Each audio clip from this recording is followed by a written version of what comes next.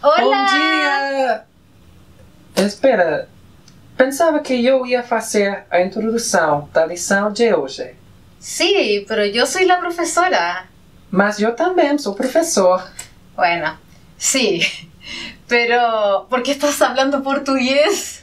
Porque lembre-se que vamos fazer uma lição especial hoje para nossos amigos brasileiros. Sí. Entonces, vamos.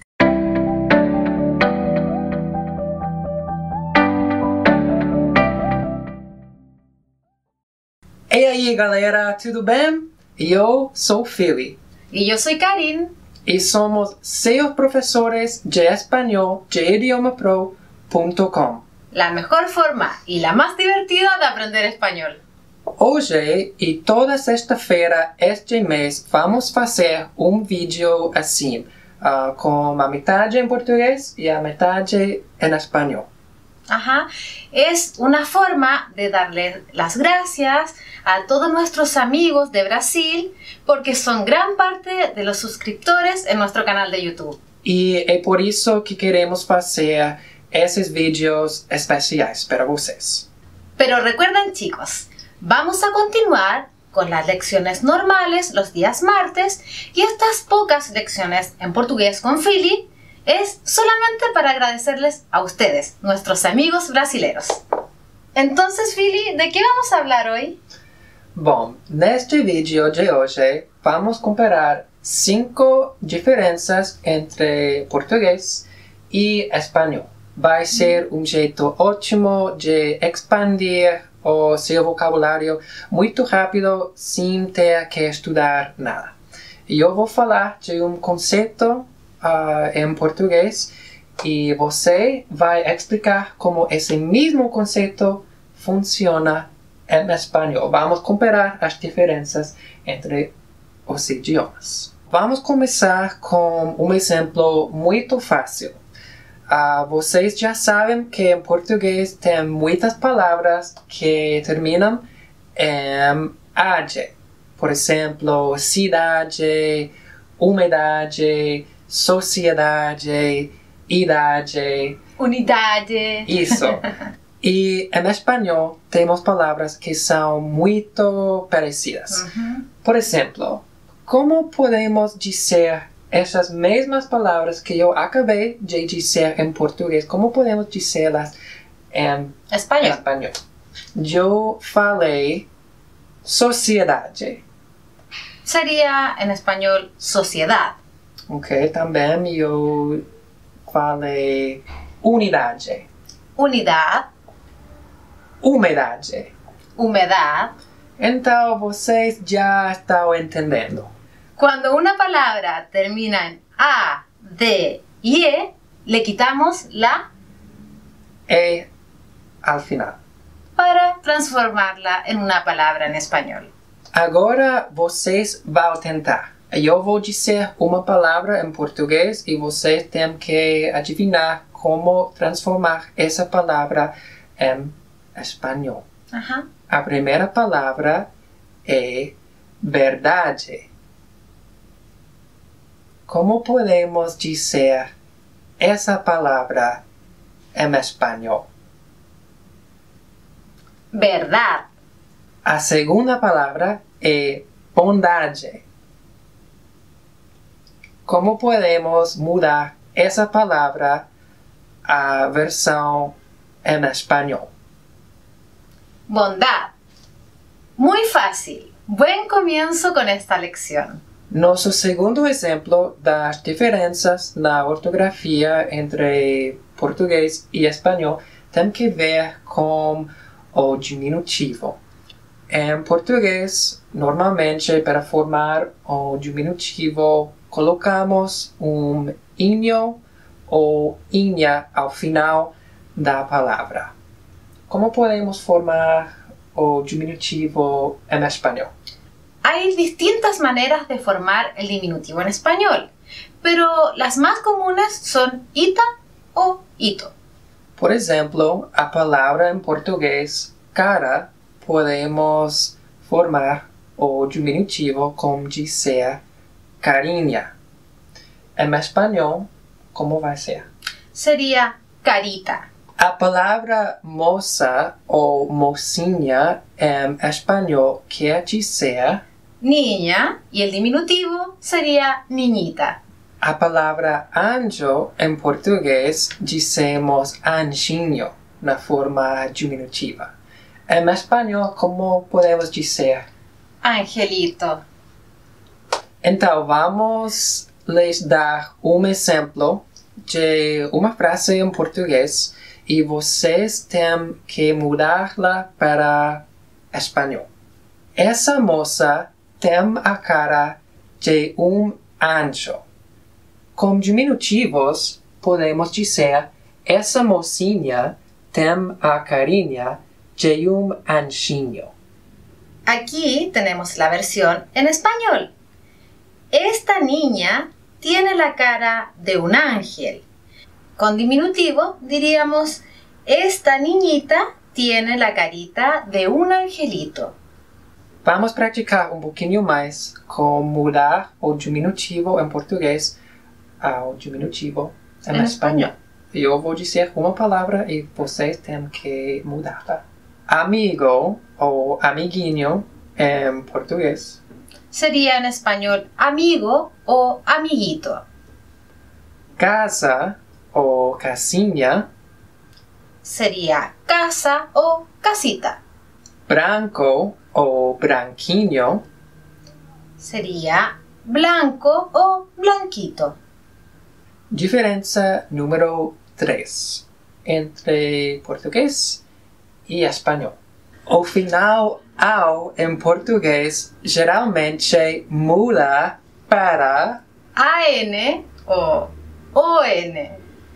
Vamos ver alguns exemplos: emoção, Emoción, liberação, liberación, opção, opción, função, función, missão, misión, correção, corrección, ação, acción, coração.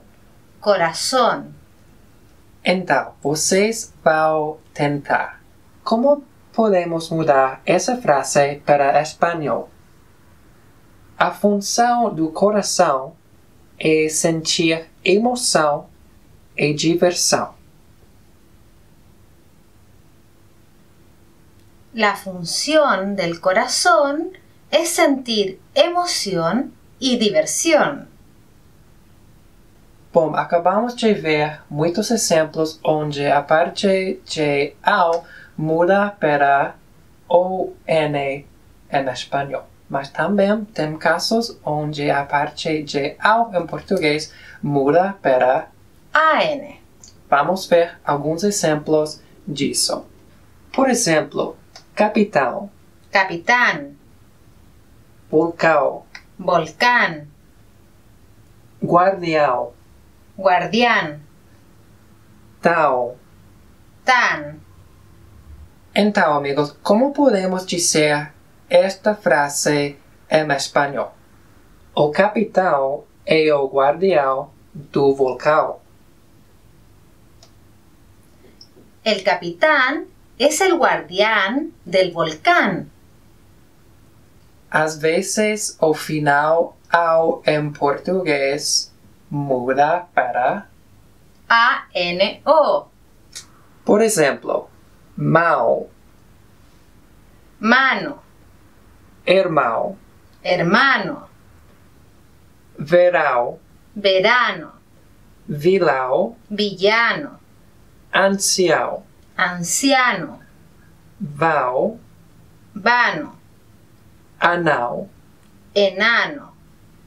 Agora vamos ver um exemplo que vocês têm que mudar de português para espanhol. Esse enão é o vilão que roubou o meu irmão no verão. Este enano es el villano que robó a mi hermano en el verano. Diferença número 4. O final agem em português es femenino. Y en español termina en age y es masculino. Por exemplo, a palavra a viagem muda para El viaje, a mensagem. el mensaje. Também a mesma coisa pode passar com adjetivos. Por exemplo, selvagem. salvaje, Podemos ver como ao final agem muda para. age, Então, como podemos mudar essas palavras seguintes à sua versão em espanhol?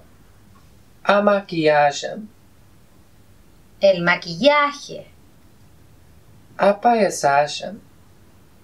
el paisaje.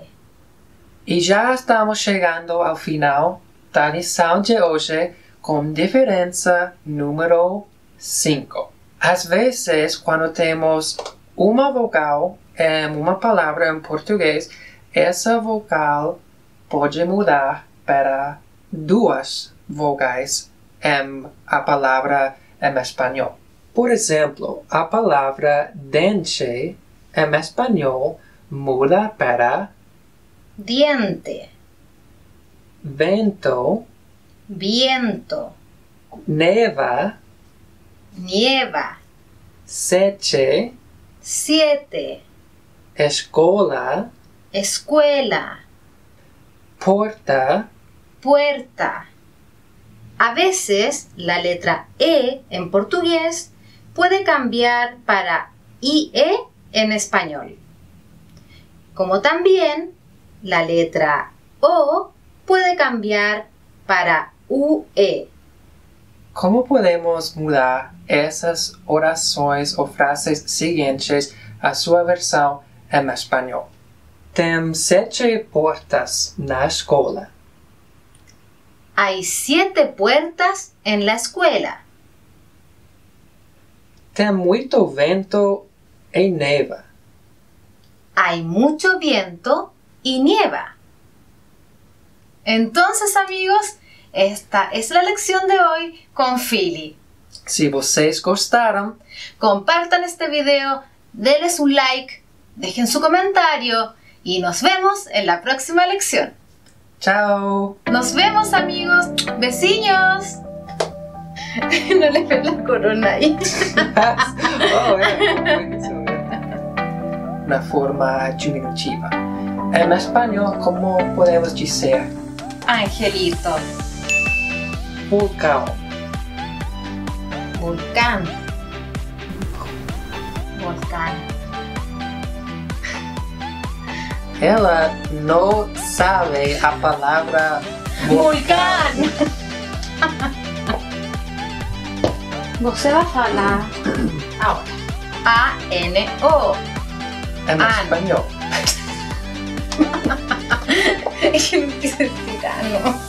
a palavra moça é em espanhol quer é dizer niña. Ah, Tu não no tienes niña. A palavra moça em português podemos dizer mocinha. Y eso va para ti. A todos nuestros amigos de Brasil, porque son gran parte de los suscriptores en nuestro canal de YouTube. Sim. Vocês do Brasil sempre têm apoiado a gente e estamos muito agradecidos por isso. Eu não sei se estou falando em português ou espanhol.